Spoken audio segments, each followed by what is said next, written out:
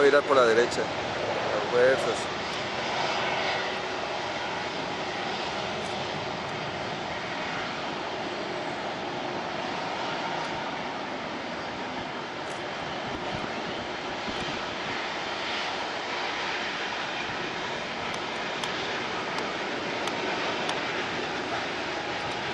Tiene mucho que ver este